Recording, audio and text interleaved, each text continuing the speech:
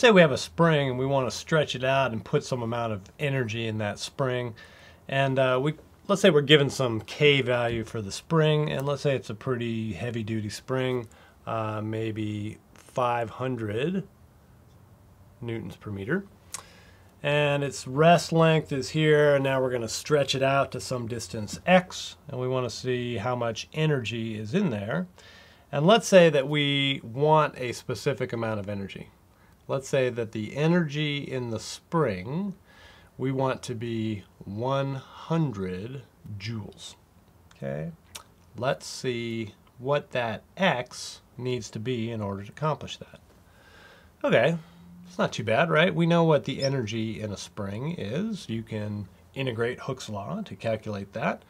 Or you can just remember that it's 1 half kx squared, where x is the, the stretch distance, right? Starting from the rest length, stretching out from that point. We can solve this for x, right? Multiply by 2, divide by k, take the square root. I get 2 energy in the spring, u sub s, divided by k, and then that whole thing, I have to square root. And now I have all those numbers. So we've got 2 times u sub s, which we said was 100. We're going to divide by k, which we said was 500.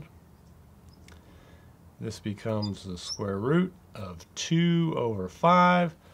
Square root of 2 over 5 is what? Well, 2 over 5 is 0 0.4 and that's got to be pretty close to what? I don't know. Let's run it and try it. Okay.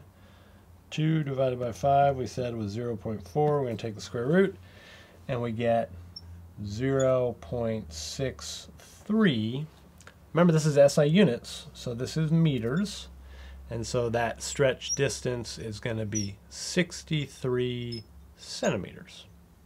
Okay, which is pretty far stretch, but 100 joules is a decent amount of energy in that spring. All right, hopefully that's clear. Cheers.